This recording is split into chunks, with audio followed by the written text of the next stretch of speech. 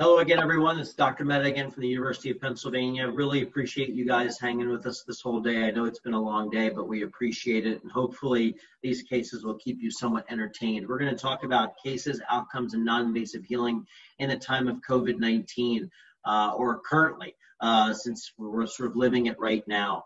Um, I really have, uh, these are my disclosures and these are the learning objectives. Um, we're going to review the evolution of surgical treatment in the context of COVID-19, outline some risk mitigation strategies of preventing non-union, which we talked a little bit about earlier, if you remember my previous presentation, and then look at some really complex and relatively non-complex cases and real application in LIPUS and in non-invasive healing, especially in the setting of COVID-19. So I will tell you that this is a new paradigm for me. You know, this is um, one of my first sessions uh, doing um, uh, telemedicine, which is even for an orthopedic trauma and fracture practice. You think, how are you doing telemedicine? Uh, we have figured it out. We've had to figure it out. And and I, you know, I'll start by saying that we we looked at doing telemedicine in orthopedics in our department for some time pre COVID. We were really working on how do we do telemedicine. We had some pilots we wanted to try in the department, and there were always issues pre-COVID, pre-March, pre um, uh, uh, February. You know, we did. I did a couple of visits, but the conversation was, well, how do I get this to flow during my regular clinic day? I've got 40 patients scheduled. Where does this fit in? How do I do it without affecting my the rest of my day? You know, how do we how are we going to do cost control and cost management, like with with respect to um, uh, you know device, like if we have to put a brace on a patient, uh, or we're going to um, you know bill for my time or services. You know, um, how do we get the tech right? My technology, am I going to use my laptop, my phone? What about the other patient? What platform we're going to use? Is it HIPAA compliant? Are patients really going to like it? Are patients going to really, you know, are they going to be able to do it? Are they going to, you know, are we going to miss things? Um, how are we going to bill for it? Uh, billing at the time for telemedicine, there was none. Uh, this was uh, uh only a, a, recent event uh, where CMS ruled that you could bill for telemedicine like you could bill for an in-person visit if you met certain things. But the biggest sort of red flag or the biggest concern for me was quality of care. Uh, are we going to really be able to provide the same quality of care to our patients who are having um, uh, uh, telemedicine as opposed to those that come in in terms of being able to put our hands on them, being able to look at x-rays. How are we going to get x-rays, right? So all these things really um, uh, changed uh, my approach uh, I had to change my I had to, I had to change my approach because if I didn't, I wouldn't be seeing patients because we shut everything down for several months. And we can talk more about COVID if you have questions in our sort of response and how we've sort of resurged after or now uh, in the light of sort of a, a change in our approach. But I will tell you that telemedicine has definitely improved access to us. It is extremely convenient for the patients and frankly for me as the provider. Uh, and I do believe that for some patients, it has really improved their patient satisfaction. So I will tell you that COVID-19 had an impact on patients with fracture care. This is a woman who came to see me right before things really got crazy with COVID in our area. So probably very early mid-March, she came to see me. She had an ankle fracture. She had suffered it, you know, and was treated outside hospital initially with just a, a, a splint and a, and a cast and you know she started to fail. And i had had a long talk with her about what we needed to do to fix her. And we scheduled her for surgery late march to to reconstruct her because she was relatively still fresh this woman, because of COVID, chose not to come in for her surgery. She canceled the morning of, saying she was afraid of COVID. She didn't know what her hospital numbers looked like. She wanted to do more research into the hospital and into our managing our COVID patients, etc. And she canceled her surgery. She lived like this until about a month ago. So for three months, she let herself sort of heal in this position and it made her subsequent surgery that much more challenging. Not to mention the fact that she walked on her leg crooked like this for three months because of her fear of COVID and her, her concerns. Not that they're not um, uh, appropriate, but it just can show you the mindset of some of the patients that despite this what looks like a fairly graphic and horrific injury which it is frankly i mean this is not a normal ankle and she clearly knew it wasn't right she was walking on the side of her foot but she she made the decision to live like this and let us deal with the consequences. And what and we are seeing more of that. We are seeing patients even now who chose not to seek treatment. And if you talk to some of our emergency medical providers, they will tell you that they were picking up patients who are far sicker um, because of COVID. Patients, patients, patients and their families weren't calling EMS when patients were having cardiac issues or pulmonary issues, hoping they would get better because they were that they were afraid of going to the hospital. Um, so I think um, this is not an uncommon scenario, and it's something that we're seeing now. Um, and this is where I think something like telemedicine, early engagement, safe practices make a huge difference. Um, you know, we had this mantra, we heal with steel. That's the orthopedic trauma mantra.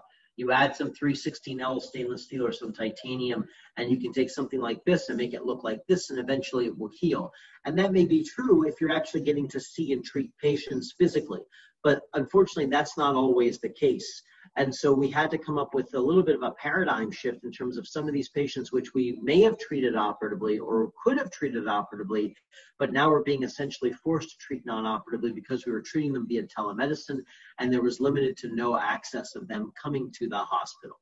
And so when you think about um, all these sort of biologic treatments that enhance bone healing, the one thing about all these treatments is they require an in-person engagement. They require in person treatment and they require us to be physically in the operating room with these patients. The one that doesn't is something like LIPUS, right? So something like a low intense pulse ultrasound, um, we, you know, what we use here um, does not require uh, us to be physically with the patient. We can prescribe this. We work closely with our uh, uh, our consultants who prescribe these devices or, or, or, deliver these devices to patients. With these can be delivered remotely. Those the, the device service reps can then engage with the patients remotely and be able to deliver this kind of care without actually having to be physically with them or in the operating room or in the clinic, putting them at risk. And so it is one of the few things that we can do that can enhance fracture healing that doesn't require in-person treatment. So this is a patient of mine. uh, he was um, drag racing and crashed his car. Uh, we treated him with an intramedullary device. Um, we did a. He also needed a free flap. Uh, so you can see here the soft tissue defect, the muscle we had to move, and then um, soft tissue coverage. And this is him at three months. I saw him in the office, and he was going on to a non-union. You can see he wasn't healing. Now, what's interesting about this patient is that um, he is he while he's he himself is young, he lives with two immunocompromised people. And so when we saw him, we talked about some things we could do for him, injecting bone marrow aspirate into the fracture site, dynamizing the rod, trying to do something surgically to get him to heal. Unfortunately, he did not want to do anything that involved him coming anywhere near the hospital. Uh, and so for him, even though he was three months and he wasn't healing, we didn't have a lot of options that, aside from doing something like LIPUS or giving him more time. And so ultimately, the patient chose to do something rather than nothing, because more time is really nothing. And we put him on LIPUS, and you can see that on his x rays, which he obtained remotely at four and a half months, he's now gone on to Union. So we got him his LIPUS device at three months, and by four and a half months, he's made some really, really good bone uh, in that same fracture. And this treatment was was 100% dictated by LIPUS I, or by COVID. I would argue that if it wasn't for COVID, I probably would have taken this patient to the operating room and either dynamized him or injected him with some bone marrow aspirate to get him to heal. Uh, so um, his treatment frankly, uh, was improved, if you will, because of COVID, and we were we could treat him non-operatively. This is an unfortunate woman. Um, she is very elderly. She is um, uh, has multiple medical comorbidities. She um, had a high blood glucose sugar and fell and broke her ankle. And this is, by all stretch of the imagination, typically an operative fracture You can see the, um, the displaced fibula here. You can see the widening of the medial side. Um, this is an unstable ankle by definition. She's 80 years old. Like I said, multiple medical problems. We put, we got her reduced. The residents did a great job reducing her in the emergency room. So she's now well aligned. Um, she absolutely would not come back to the hospital for treatment or the clinic.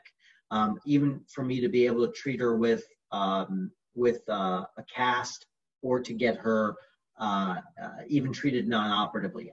everything had to be done via telemedicine, and her nephew helped coordinate the telemedicine visits. What do we do with her? Because I got, she's 80 years old, she's high risk. You know, she wants to walk. It's really hard to keep an 80 year old non weight bearing. I can't put her in a cast because she won't come in. I can't um, I, I, can't treat her surgically, which is what I typically would do for an, a fracture pattern like this. So after really sort of a, a long conversation, we kept her in the splint for three weeks.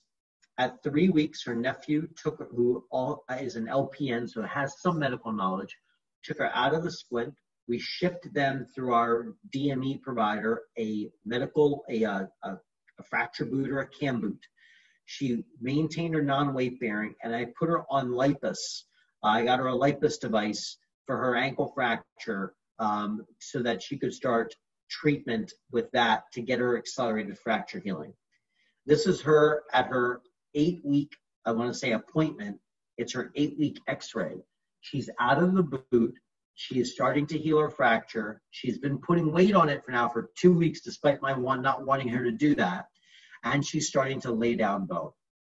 And so, again, another patient who we had to find a way to treat conservatively, high risk patient, treated with lipus and conservative care. Ankle looks okay. It is not perfect, but she's 80, multiple medical comorbidities, and her desire was to not come into the hospital. this is a patient AT. He got injured right at the beginning of spring sports. So, like first week of March, he was running um, down first down to first base after hitting the ball, and his tibia snapped underneath him. Um, he had been complaining of pain in his leg for some time. He thought it was just shin splints. Turns out it was likely a stress fracture. We took him to the operating room and we put a rod down his leg. At three months, so uh, about two months ago, he came in continuing to have pain. Now, his parents are very engaged and involved with him. He's an excellent baseball player. He's a D1 or D2 recruit. But you can see this fracture line is clearly present and uh, there. And when I say came in, we were doing everything uh, via telemedicine. His parents live in the suburbs with him.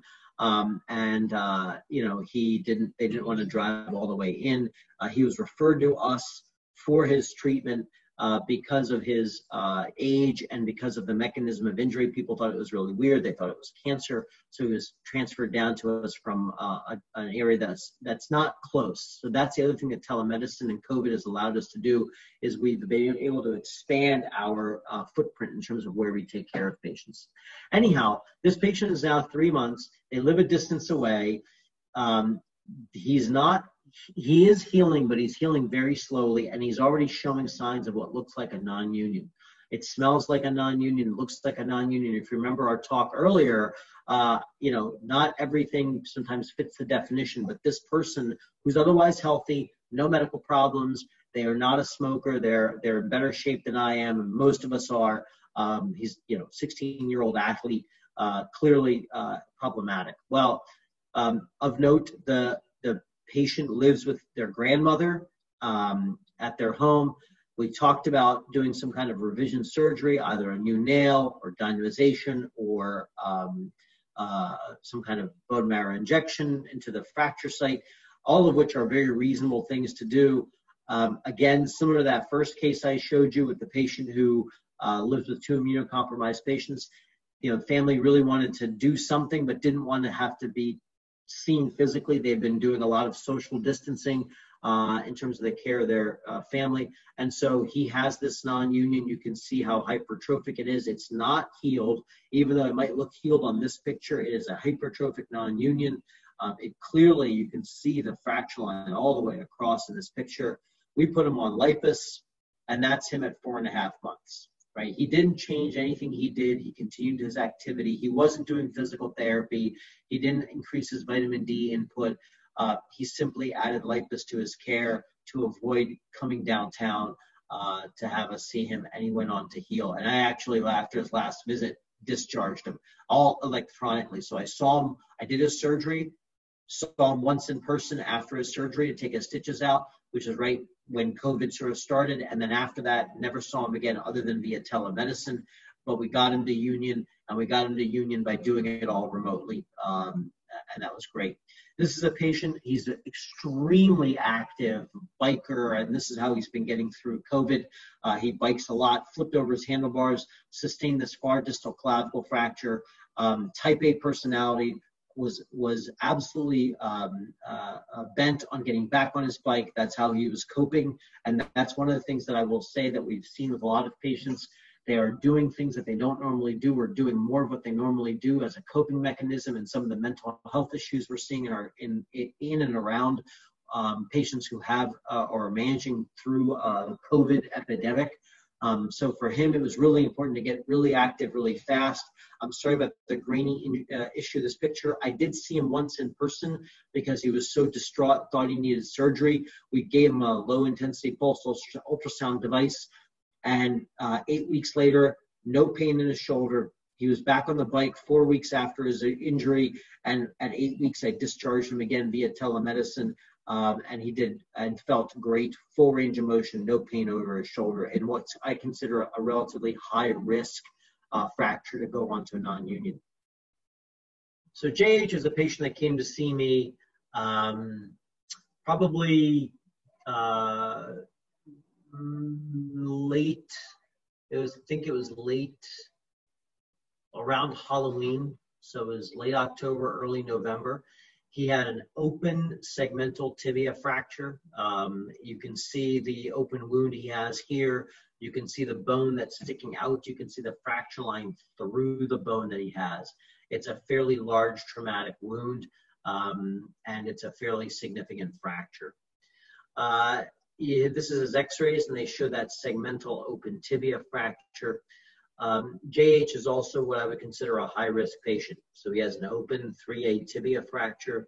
He also has a substance abuse history, um, and he also is an active smoker.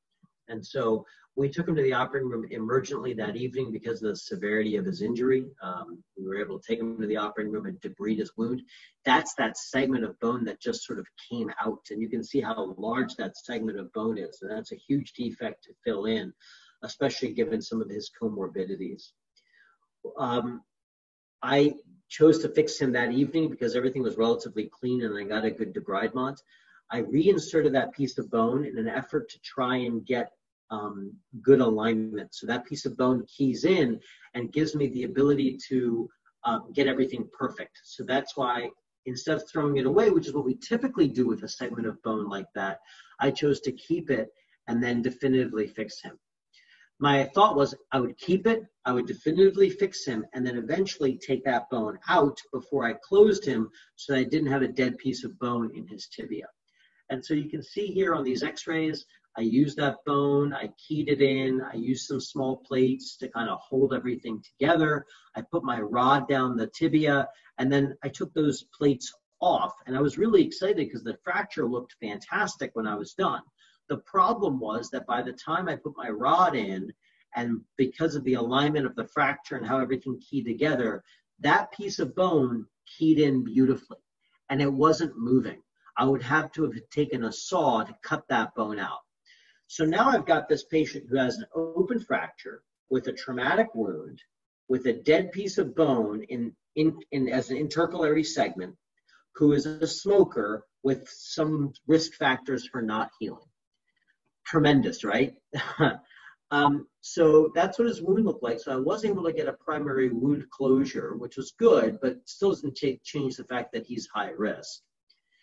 And I, and this is him at six months. And I saw him at six months, and frankly, he, he wasn't healing. Um, you know, he was still symptomatic.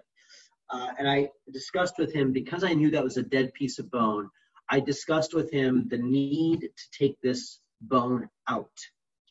Now, at this point, we're in the throes of the COVID epidemic, but we are allowed to operate on patients who we feel need to have surgery or should have surgery or are symptomatic. Um, it requires some special permission, but it also required all patients getting a COVID test preoperatively, and that's part of one of our risk mitigation strategies. Unfortunately, this patient, we, because of a variety of social issues, we could not get this patient coordinated to take a COVID test. Yeah, he, we just couldn't do it. But I couldn't leave him untreated. And so we were able to get him a LIPUS device so that we could do something for him until we could sort out how to manage his non-union. So we got him a LIPUS device and uh, via remotely, all done remotely, uh, he was able to engage in telemedicine. And by nine months, we were able to get him to union. Um, and ultimately, I had to take him back and fix his fibula for different reasons, but I didn't have to touch his tibia at all. His tibia healed completely uneventfully uh, with the lipus, uh, only three months later. And then eventually, we were able to get him a COVID test, and I could take back and fix his ankle, which was different than his tibia. But you can see that dead bone with lipus incorporated beautifully uh, without me having to do anything surgical for him. So uh, again, another case where um, you know COVID uh, uh, dictated our treatment to some degree, um, and we were able to get this patient conservatively managed for his fracture that wasn't healing. So we talk about non-unions. What I'll leave you with is uh, my top 10 list from top from bottom to top. Uh, I think when we talk about fractures and complex injuries, you have to be data driven. Um, think about the data, think about who's at risk, look at the data, and, and think about what you want to do and how you want to do it. Principles based treatment is really important. Think about principles of fracture fixation and fracture healing, principles of patient management. I think there's lots of options that exist, both operative and non operative options. And I think you have to make sure patients know this. You also have to think about what fits in with what you're doing and how you're doing it. I also think it's important to remember what the host brings to the table in these complex fractures. What's their vitamin D level, thyroid, parathyroid? How do they look and what do they what do they do metabolically to optimize their fracture healing? I think you also have to do what makes sense. I shared a few cases with you in terms of what I would have thought to do operatively, but in the setting, setting that we were in, it made sense to try something else, like LIPUS. There are non-invasive options to fracture healing, and I think you know we we tend to in North America in particular get very aggressive with surgical treatment. And I am reminded with some of the developing nation work that I do is non-operative treatment or conservative treatment or non-invasive treatment is just as and sometimes more effective than operative treatment. Host factors are really important and managing those host factors is really important in terms of taking care of patients.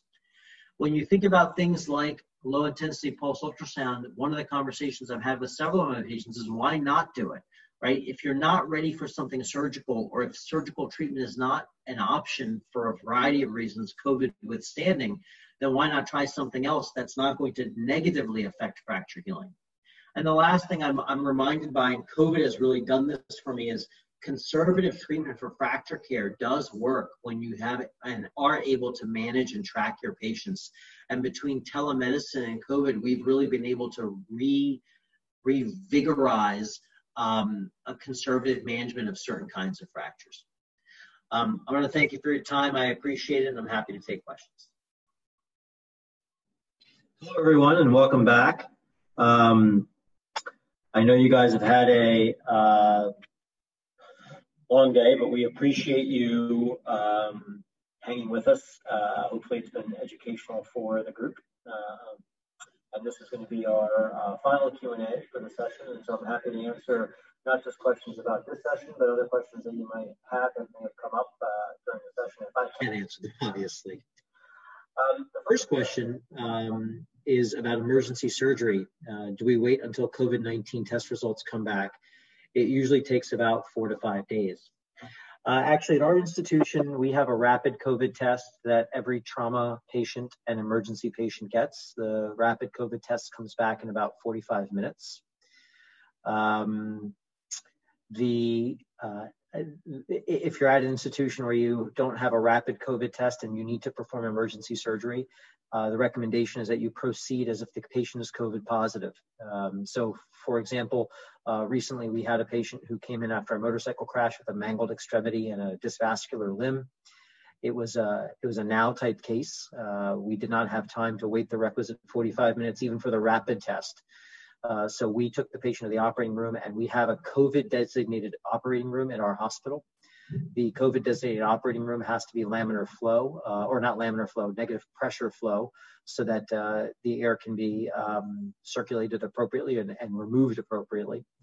Uh, after, uh, a- as we started the surgery, inappropriate PPE for that kind of surgery, we discovered that his rapid test came back positive. So, uh, again, a reminder that you don't know what you are dealing with until um, you uh, are uh, in the midst of it sometimes. Uh, this morning, in fact, I had a patient who came in last night with an open fractured ankle dislocation after a motorcycle crash. We got the rapid COVID test last night uh, and were, were, able to determine that he was COVID positive and was placed into our COVID room, which we can schedule into as well for urgent for emergent surgeries that are uh, that require um, appropriate PPE.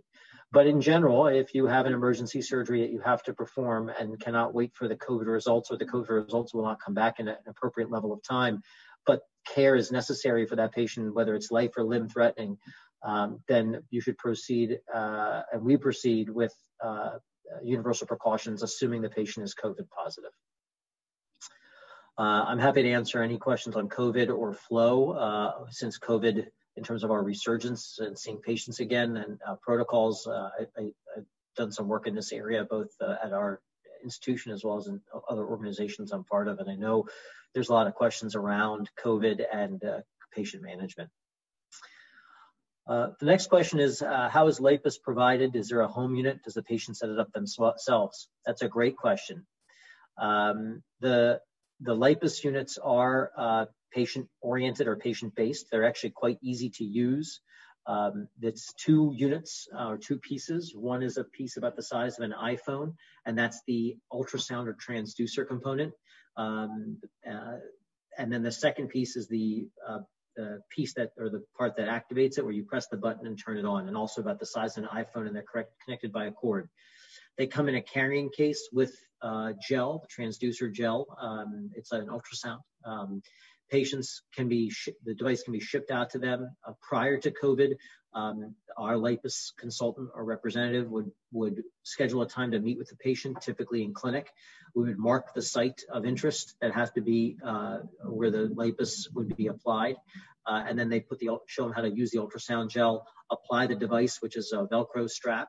Uh, the device that we use is 20 minutes, and so the patient would press the button. 20 minutes later, the device beeps, and they take it off and put it in their case. It should be used daily, 20 minutes a day, seven days a week. So I stress that to my patients that they need to uh, take it with them if they're going on vacation, and they should use it about the same time every day. Um, it's relatively easy to use, um, and as a the healthcare provider, I can actually track their utilization. So if they bring the device to me, I can see how many times they used it and if they used it, you know, appropriately in that sense that, you know, if they missed a session, did they do two sessions on one day to make it up or did they skip a day? You know, how many times did they use it over the course of a, you know, 60 day, 90 day period, that sort of thing. So it's, um, it's fairly easy to use. It's fairly, um, uh, fairly well defined and uh, the company can uh, talk a patient through setting it up via telemedicine or via tele, like like we're doing right now, uh, or uh, you know direct patient contact, uh, which is how we used to do it prior to COVID. The next question is on um, Do I see a role of telemedicine in fracture care? That's a great question because, unlike other specialties, I think there's a little bit more with x rays and with um, you know patient interaction when it comes to fracture care, trying to both not only determine uh, if the fracture is operative or non-operative, but then also, you know, bracing and casting and that sort of thing that goes with some fracture care. I think like anything else, um, it's been a little bit of a transition, uh, and we were forced to go through that transition um, uh, for um, uh, transition for with COVID. Uh, the, um, the, the fact was that if if I didn't do telemedicine, I wasn't going to see patients, and so I had to figure out. Uh, we had to figure out. I, I credit my administrative team with this some kind of patient flow perspective. I think the biggest thing that we need from a fracture care perspective is x-rays. And so having the patient obtain those x-rays and then somehow get those images to us, because frankly, we don't necessarily use the radiology reports. We actually want to see the images in real time or relative real time. And so with digital healthcare the way it is, um, we set up a workflow where we would send patients a prescription for their, for their x-rays. They would then obtain their x-rays locally, either at a, a, radiology facility or at a local hospital or at an affiliated site to our institution. So I could look at those images electronically. If they got images done in an outside facility, they would either mail the disk to us or we have a cloud server and they would upload the images to a cloud. At that point, uh, this is where I thought the challenge was. Once we got the images, I would do our telemedicine visit. And obviously, the technology is uh, a, a, challenge as well. I um, I felt some days more than more like a IT consultant than I did a, a physician or the the uh, you know the the tech line for help services, trying to talk patients through how to use their uh, app, uh, whichever app we were using. We have a, a, proprietary app that we use for telecommunications that's HIPAA compliant, and so talking them through the app and having them get connected was part or most of the battle but after that, you know, it reminds you about the ability and the role of getting a good history and, and being able to, to listen to a patient. And I think that's one of the things that telemedicine has really forced me to do is you're not relying as much on imaging and you're not relying as much on, on um, you know, being able to just manipulate the patient's limb or something like that. Uh, the, um, uh, the, so the history component becomes really important and learning um, and learning and listening to patients again, I think has been tremendous. Um, so it, it is definitely a, a, possibility, and I think you know the other the other challenge that we ran into was uh, durable medical goods, like a, if they needed a cast, uh, like a cast shoe or a fracture brace or something like that. And so that's where we've worked with our durable medical goods provider to help get those that equipment delivered out there. They'll actually go out to the homes and service the home at the homes because they have regional people that will do that. Uh, but that has definitely been probably the hardest thing is how do you get a patient uh, out of a cast or how do you get a patient a fracture boot if they've got an ankle fracture? Uh, like some of the cases I showed you, how do we get them transitioned? Uh, and it's been working with their family as well to help with that. Some of our older patients are less mobile patients. So it's not, I wouldn't say it's seamless, but it's definitely, um, it's definitely, we've definitely transitioned uh, and are doing it. Um, I think patients also, some patients want to be seen and want, especially when they have an injury, want someone to want the reassurance that it's going, everything's going okay.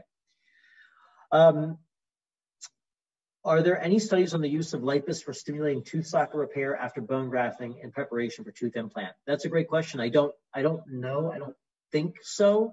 Um, I would tell you that at least in the U.S., um, that would be an off-label use for LIPUS.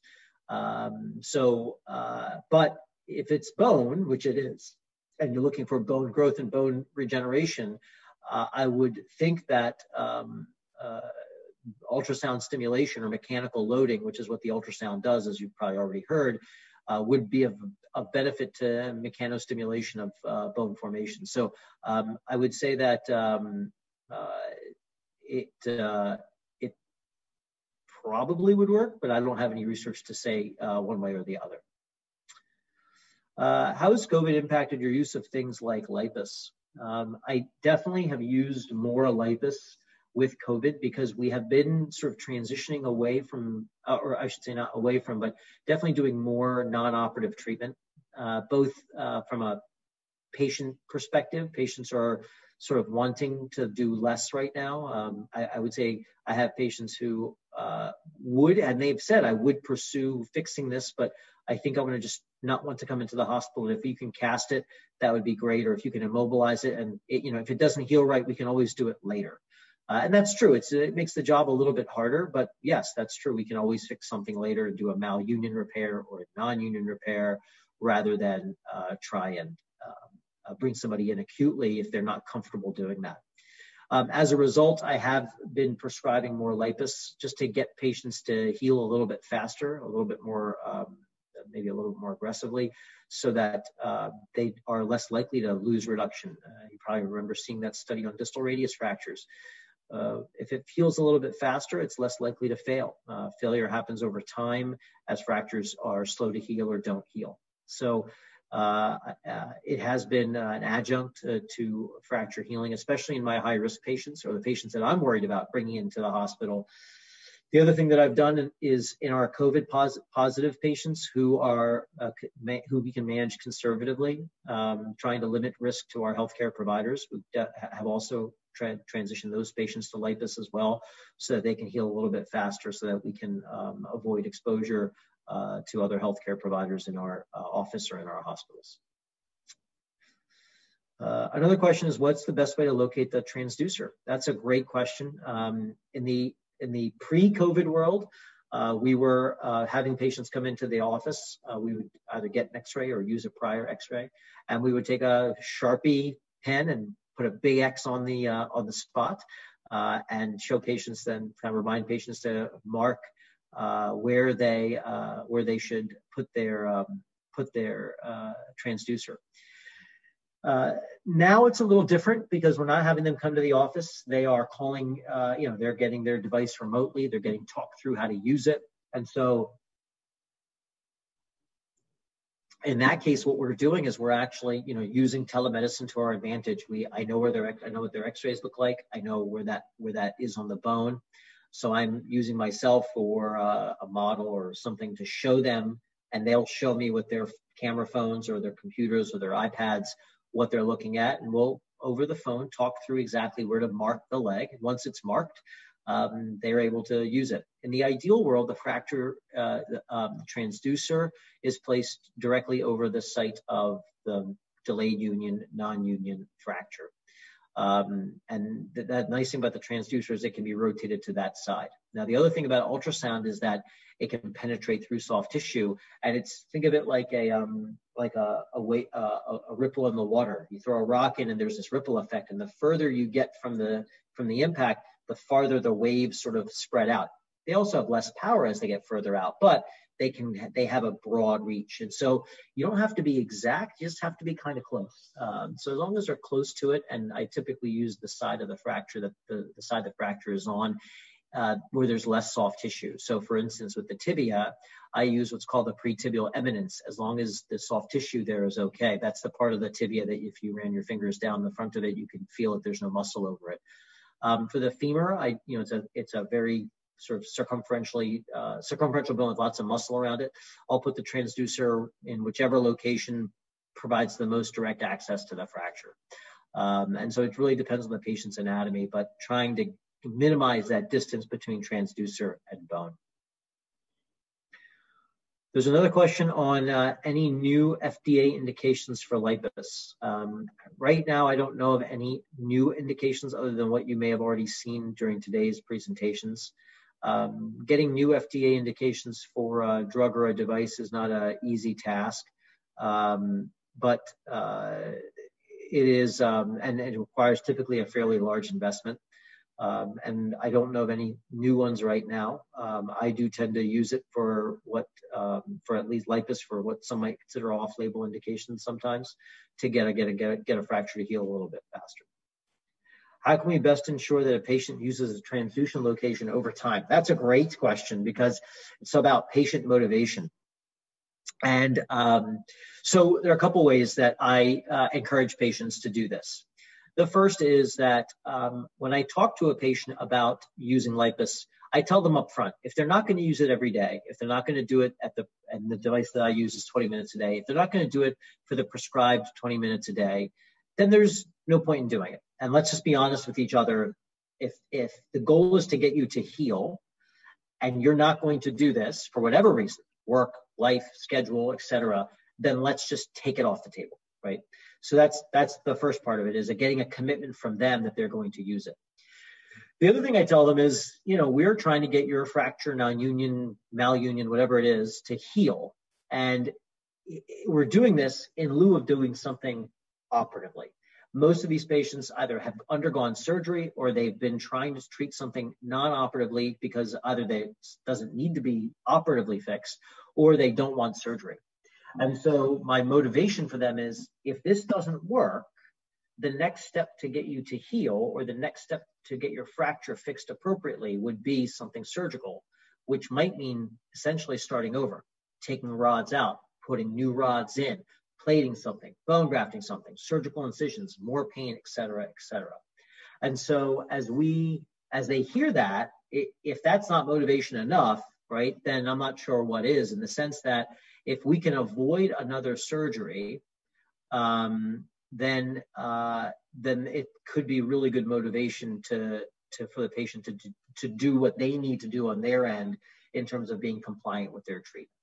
Uh, and I think that risk of having another surgery uh, or risking another uh, surgery is sometimes enough motivation to be compliant with treatment. And I think that's uh, that's how I tend to um, motivate my patients is, hey, it's another. If we if we get you to heal, great. And if we don't, you're getting another surgery. So you better just do what you need to do. And and most patients are actually when you when they when you put it that way and put it that bluntly, they seem to understand that this is a shot to save them from a trip to the operating room. Um, but again, I think it's getting that commitment up front and getting them to say, it's 20 minutes a day, every day. If you can't do it, we shouldn't bother. And you'd be surprised. Some patients say, "Yeah, I'm, just not. I'm just not that. I'm just not going to do it that that frequently." Okay, and then let's just let's not even waste our time, both yours and mine. Let's find some other solution to help you to help get you healed. Um, there are there are a few questions coming in about COVID uh, and issues related to um, patient care and COVID and how we're doing our clinics. Um, so I, I guess uh, I, am sure people have worked out workflows for their COVID patients. Um, and I'm happy to share ours, and I think that's where a few of these questions are going. So I'm gonna I'm gonna group those questions together uh, because I think there is a, a, lot of still a lot of um, concern uh, around COVID patients and how we should be managing that. So on the inpatient side, I think I described this already, but we assume all patients are COVID positive um, at time of entry into the hospital through the trauma bay or the emergency room, and then we sort it out from there with our rapid COVID test. If we have to do something urgently or emergently, then they are um, treated as COVID positive patients. When we get transfers in from other hospitals, we ask that they have a COVID test prior to transfer. If that's not an option because it's going to be four or five days and their treatment's going to be delayed or something like that, then we bring them in as a pa- patient under investigation, a PUI, and then we we test them uh, when they get to our hospital, and then based on how they test, they go into the COVID floor or the non-COVID floor. We do have a separate ward for our COVID patients to minimize exposure to other healthcare providers, pay other patients and their families. Um, we have pretty strict visitation policies, policies still in place in the hospital uh, with respect to single visitors uh, and no back and forth of visitors to and from on the same day. Um, we do do uh, temperature checks when patients come into the hospital and their family, obviously. We are not routinely testing our healthcare providers in terms of whether they are COVID positive or antibody testing them routinely. The outpatient side has been a little bit more interesting because um, we've had to create some workflows to try and minimize our um, time in clinic. And so this is one of the questions was about how are we managing our clinic. Um, we are um, we, we used to do 10 minute visits uh, but it was made clear by the health system that they did not want that kind of flow and overlap of patients waiting in radiology or waiting in the waiting room. And so we've we've spread out our visits. Um, we now do 20 minute visits instead of 10 this has naturally created more space more space on the elevators more space in radiology more space in the uh, clinic area uh, in an effort to kind of space those patients out so that there's not a lot of people uh, in the same uh, room. Obviously, we require masks upon entry into the building and at all times in the building. Uh, the other thing that we've deter- we've done is we've done everything we can to um, uh, uh everything we can to um, m- minimize their in clinic activity. So pre-registration, if there's a copay, prepay of the copay, if they can get x-rays before they come in, getting those images done before they come in. Um, the checkout process has become remote as well, so we'll we'll check them out electronically, um, trying to limit again that time in the clinic. Um, we try and get a, all our pre-operative testing done or pre uh, pre-testing done in in by scrubbing the charts so their their uh, uh, their clinic flow is efficient. uh, and then any kind of scheduling. We also have been pretty good about uh, patients that can be telemedicine. We we make telemedicine. So even if even if they show up for their first appointment or or one of their appointments in person, if future appointments can be telemedicine, since we don't know what this is going to look like three months or six months from now, if their future appointments are going to be telemedicine, or can be, we do that uh, in advance of their next appointment at that appointment. So we tell them it's going to be telemedicine. We make sure that they're okay with that. And then we have our office schedule that as a telemedicine visit. Um, it has definitely been, there have been some hiccups, technologically some hiccups, um, you know, x-rays not maybe getting done, uh, that kind of thing. But uh, overall, it's been surprisingly good. Our telemedicine slots, at least mine, are 20 minutes as well um, in terms of seeing the patient, and I include that time as well as documentation. Um, the uh, the other aspect of this uh, is um, you know, in terms of uh, signups for surgeries, uh, I actually have signed up patients via telemedicine for surgery. Um, the hospital has been kind enough and gracious enough to, to be able to allow us to do same day consents so that we're able to do the consent forms a day of so in case we do a telemedicine uh, consult and it results in a surgical uh, uh, decision making. So um, lots of ways, obviously all the staff is using PPE um, as well. So it, uh, you know, we do have COVID positive patients that have to come in and be seen because we do trauma and fracture care. What we do with those patients is we limit um, uh, we limit uh, the number of people that interact with that patient. So it might be that I don't have my PA see that patient. I'll go see them myself because ultimately I have to see that patient anyway. Uh, obviously, we have, if we know they're COVID positive, we'll do a full PPE. We also schedule those patients at the end of the day um, so that uh, again, the exposure risk is very limited to other patients. Uh, we also, obviously, every room gets deep cleaned uh, after each visit, um, especially after we it's a known COVID, COVID positive patient. Um, we are seeing, as we just to, to, be complete and complete the COVID picture, we are preoperatively testing all of our patients for COVID. They must get a COVID test three days before surgery. That's our that's our time frame right now. So for a Monday surgery, they have to have a COVID test Friday, Saturday, or Sunday, and they have to be COVID negative uh, three days before surgery for them to have surgery. If they come back COVID positive as part of their routine workup, there's two options. Option one is to cancel their surgery, and we make them wait four weeks. Four weeks after a positive COVID test, our institution actually does not even require another test. They are treated like a COVID negative patients. So the we just wait and make them wait four weeks. And if it's something elective like a total knee or total hip, they just have to wait four weeks after a positive COVID test and they can come in for a surgery. And they don't even need a new COVID test at that point. If it's something urgent or emergent that needs to be done that can't wait four weeks, a fracture, for instance, and if we waited four weeks would be detrimental to the patient's outcome, then typically we will schedule that patient into the COVID room. And for the hospital, we like to get our elective COVID cases done as first cases uh, because it does require additional resources in the hospital to do a COVID patient. We have multiple nurses, one in the room, one out of the room, so that there's no back and forth going on. Um, similarly, for anesthesia, they've got a tech that's, you know, they've got a CRNA or an attending in the room, but they don't want those people leaving back and forth, so they have to have another person uh, situated outside of the room.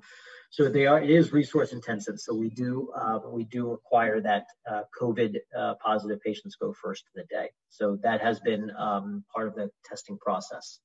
Incidentally, our positive COVID rate for the asymptomatic patient is less than 1%. I believe it's around 0.5%. So of the elective surgeries that we are scheduling, um, less than 0.5% of patients are testing positive for COVID where they were asymptomatic or didn't know.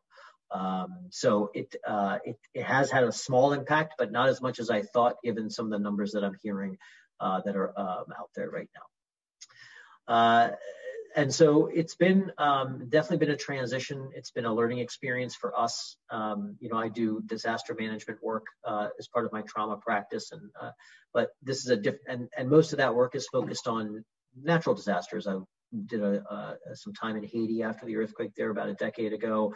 Uh, and I've been to other sites where there has been um, there's been some you know, mass casualty type or, or, or natural sort of natural destructive type type events. Um, this is a different kind of situation, I think. Uh, still requires some uh, amount of damage control or, or, damage control principles, but it's a much more prolonged process than say a hurricane or a tornado or an earthquake or something like that.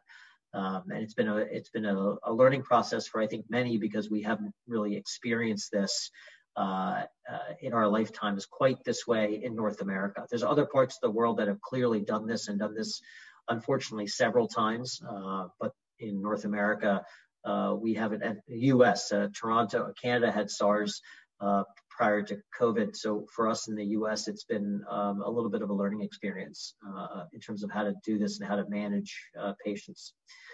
Uh, I think for healthcare professionals, it's also been uh, a time where they've had an opportunity to reflect uh, and sort of look at uh, how uh, how um, how they've been able to sort of act and react. Um, we learned a lot from New York. Uh, at least in our area, we took lessons they learned in New York and applied them to what we were doing in an effort to really limit um, what happened in, in, the hospitals in New York to try and limit what happened there in, in, terms of Philadelphia. So. Um, I don't see any more questions about COVID um, or LIPUS. Um, so with that, uh, I think we're going to wrap up. I know it's been a long day for everybody, and you're probably looking to to sort of get to your Friday. Uh, so we appreciate your time. We hope that this was an educational experience for everyone. Um, there will be some questions related to this event that will be coming to you along with your credit uh, for your CME. So look for that in your email. Uh, if you do have any other questions that come up as time goes on, I think all of the speakers today would be more than happy if you reached out to us, more than happy to answer any questions you might have, uh, both about fracture care, arthroplasty, uh, biologics, um, or LIPUS. And so uh, with that, I uh, wish you all to be safe, healthy, don't touch your face, and please wash your hands. Take care.